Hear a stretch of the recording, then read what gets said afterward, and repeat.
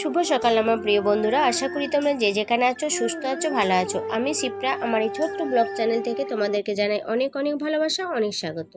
সকাল থেকে যা বৃষ্টি হচ্ছিল, মনে ছিল যেন আজকে আর বেরোতে পারব না। কিন্তু দেখো, একটু বৃষ্টি থামতেই আমরা বেরিয়ে চলে এসেছি। আমরা কিন্তু সকাল থেকে রেডি হয়ে বসেছিলাম যে বৃষ্টি একটু কমলেই বেরিয়ে যাব। কিন্তু দেখো, এইদিকে বৃষ্টি হয়নি। আমাদের এইদিকে বৃষ্টি হচ্ছে, কিন্তু এইদিকে দেখো, একদম বৃষ্টি হয়নি, পুরো রাস্তা শুকানো। আর এখানটা একবার দাঁড়িয়েছিলাম। অনেকটা এসেছি তো রাস্তা তার মধ্যে একটুখানি এখানে দাঁড়িয়ে নিলাম, তারপরে আবার যাব। অনেকটা রাস্তা। আর দেখো, আমি দেখো, মুখ, চোখ, সমস্ত কিছু একদম মানে বেঁধে নিয়েছি। কেন বলো তো? তোমরা হচ্ছে রোদের জন্য রোদ তো নেই, কিন্তু বেঁধে নিয়েছি। আমার যেহেতু মাইগ্রেনের প্রবলেম আছে, আমার ওই হাওয়া, রোদ এগুলো না লাগলেই আমার খুব প্রচণ্ড মাথা ব্যথা করে, তার জন্য বেঁধে নিয়েছি। আর দেখো, মেঘলে মেঘলে ওয়েদার যেতে বেশ ভালো লাগছে। যেহেতু সকাল সকাল, এখন সাড়ে আটটা বাজবে, আর খুব ভালো লাগছে যেতে। আর ঠান্ডা হাওয়া দিচ্ছে বেশ, খুব ভালো লাগছে। আর সোনা এদিকে আসেনি তো কোনো দিন ওই জন্য ও বলছে, মা, আমার লাইফে প্রথম এদিকে আসছে। আর ভালো লাগছে, কি হাসি দেখো, অনেকটা রাস্তা তো, আর এত দূর লং ড্রাইভ কোনোদিনও করেনি। করেনি মধ্যে একবার করেছিল মানে আমার মাসি শাশুড়ি বাড়ি গেছিলাম আর আয়না অনেকটা রাস্তা গেছিলাম। আর এদিকে দেখো কিন্তু এটা যদি রোদ হতো না, কিন্তু মোটর সাইকেলে যাওয়া যেত না, প্রচণ্ড রোদ লাগতো। আর এদিকে দু সাইডটা এত সুন্দর না, খুব সুন্দর যেতে দারুণ লাগছে। আর সকাল সকাল কোথাও বেড়াতে যেতে ভীষণ ভালো লাগে। কিন্তু এইদিকে বৃষ্টি হয়নি, এই ভাগ্য বলে রাস্তায় যেতে পারছি।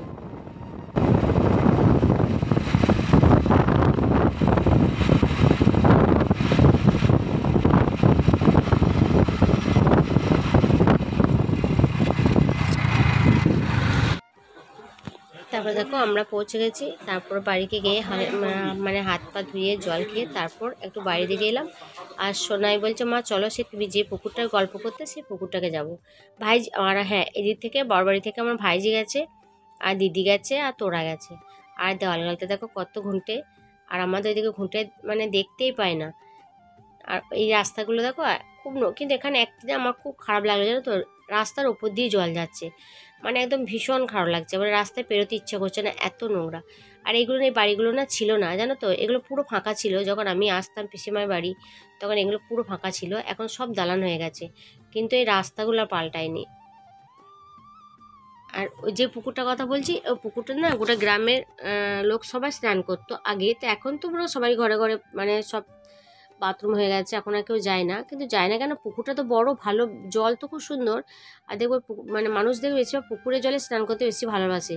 মানে খোলামেলা তো? মানে গ্রামের লোক অন্তত বলছি। তারপরে তোকে এই দিকটা যাচ্ছে আর এদিকে না সব মাটির ঘর ছিল, পুরো ফাঁকা ছিল। এখন দেখছি পুরো ঘরে ভর্তি। আমি সোনাইকে বলছি শোনা এগুলো কিন্তু একটি বাড়ি ছিল না। আবার আমি চিনতেও পারছি না জানো তো? মানে জিজ্ঞেস করে করে যাচ্ছি যে পুকুরটা কোথায়? তারপর ওরা এবার দেখিয়ে দিলে, এইদিকে যাও, দেখো ওই পুকুরটা পেয়ে যাবে। এদিকে এই রাস্তা, এই দালানটাও ছিল না, এখানটা পুরো ফাঁকা ছিল।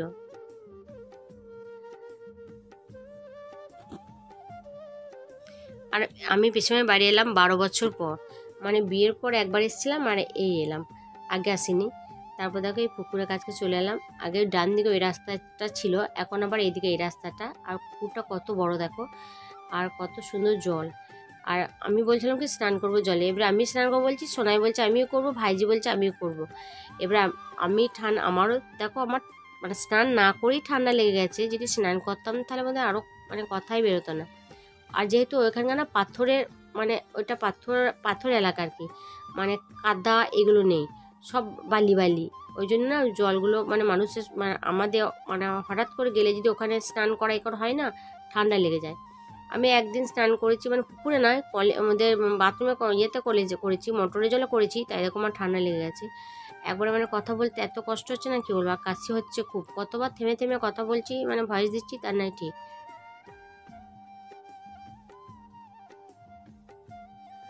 তারপর দেখো, ওখান থেকে আসার পর চান টান করে খাওয়া দাওয়া করে বিকাল টাইমে আমি দেখো ছাদে এসেছি। আর ছাদে এসে তোমাদেরকে আমি ওদের গ্রামটাকে দেখাচ্ছি।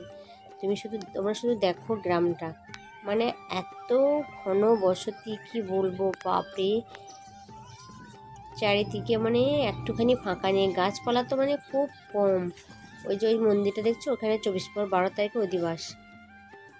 আর ছাগলগুলো কি বড় বড় গো এখানে? অনেক বড় বড় ছাগল। আর ওই যে দূরে বড় একটা দালান দেখছ? ওইটা হচ্ছে আমার মাসির মেয়ের বাড়ি। মানে মাসতো তো বোনের বাড়ি ওইটা।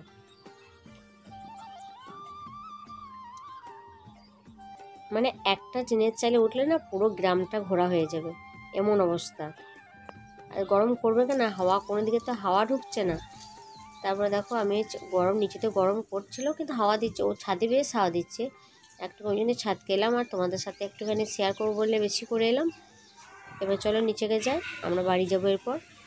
আর দিদিও বলছে যে রেডি হয়ে নে। আর আমি দিদিদের সাথেই বাসে যাব। আর সোনাই আর ওর বাপ্পি আর আমার ভাইজি তিনজনে গাড়িতে যাবে। আর আমি, দিদি আর তোরা তিনজনে বাসে যাব। তারপর দেখো এখানে দেখো এখানটায় প্যান্ডেল হচ্ছে এখানে এখানে চব্বিশ পর হবে। কত বড় জায়গাটা দেখছ? এই ওপর থেকে পুরো দেখা যাচ্ছে। এই প্যান্ডেল হচ্ছে আর কি, বাঁশ বাঁধা হচ্ছে। তারপর থেকে নিচেতে এসে তারপর রেডি হব রেডি হয়ে আমরা বেরিয়ে যাব। আর রেডি হওয়াটা তোমাদেরকে শেয়ার করব না। একবারে তোমাদেরকে বাস স্ট্যান্ডে এসে শেয়ার করব। যেহেতু বাসে যাব তো, ওই জন্য। তারপর দেখো আমরা দেখো বাস স্ট্যান্ডকে চলে এসেছি। ওখান থেকে টোটো করে বাস স্ট্যান্ডকে চলে এলাম।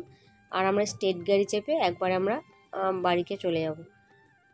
আর এইটা হচ্ছে হেতমপুর জানো তো? এখানে হেতমপুরে রাজবাড়ি বলে না? সে হেতমপুর। বন্ধুরা এখন আমি যাচ্ছি দেখো আমাদের মাঠে।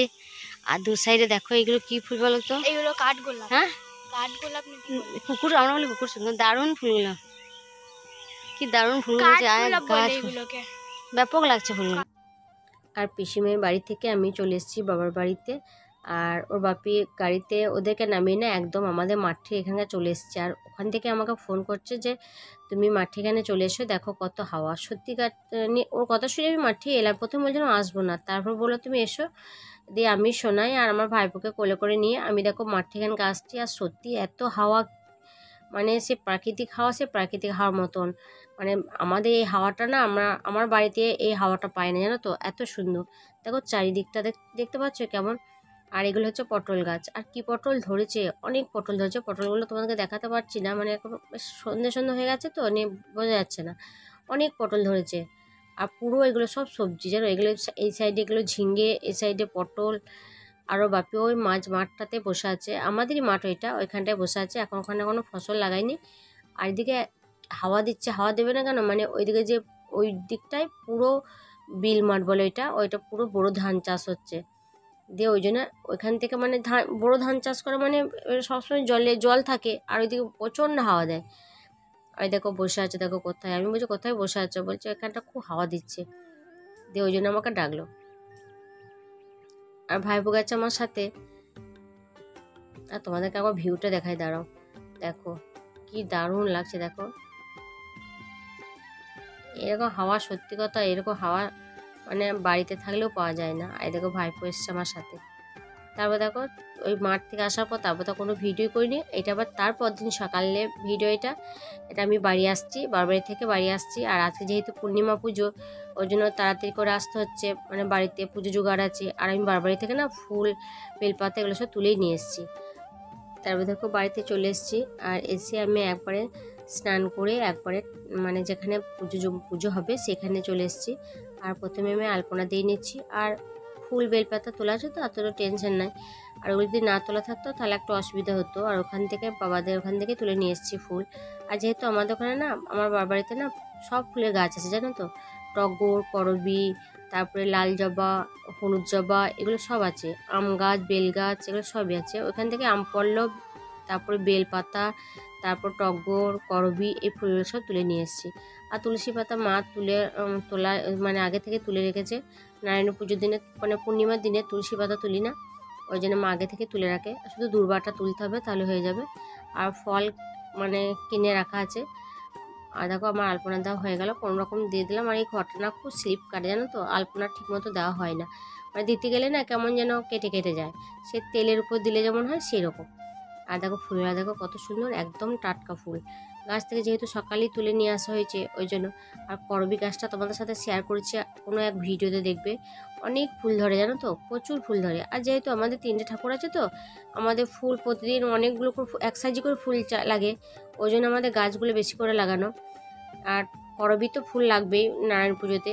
আর আমিও করবি ফুল অনেকগুলো তোরা আমাকে তুলে দিল যে সত্যি এগুলো নিয়ে যাও। আর বেলপাতা দেখো, আমাদের গাছে বেলপাতা। মানে দু তিন বছর ধরে বেলও ধরছে। অনেকগুলো বেলপাতা নিয়ে এসেছি। আর করবি টগর, করবি বেলপাতা আর আম আম পল্লব আম ওখান থেকে নিয়ে চলে এসেছি। তারপর থেকে বেলপাতা ওগুলো আমি ধুয়ে নিলাম, বাটি জল বাটিতে জল দিয়ে এই বেলপাতাগুলো ধুয়ে নিলাম আর নিয়ে তারপর থালাতে রেখে দিলাম। আর আমের শকাটা রেখে দেবো, তারপর আমি দুর্বাগুলো তুলে নিয়ে আসব।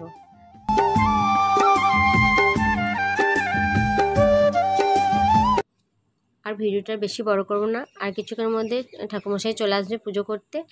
আর তারপরে আবার রান্না আছে, অনেক কাজ আছে। আর ভিডিও অফ অন করতে করতে না অনেকটা লেট হয়ে যাবে। আর যেহেতু উপোস করে আছি ওই জন্য ভাবছি আজকের ভিডিওটা বড় করব না। চলো বন্ধুরা, আজকের মতন এই পর্যন্ত। আবার দেখা হচ্ছে পরের ভিডিওতে। ভালো লাগলে অবশ্যই লাইক শেয়ার কমেন্ট করবে। সবাইকে টাটা, সবাই সুস্থ থাকবে, ভালো থাকবে। দেখা হচ্ছে আবার পরের ভিডিওতে।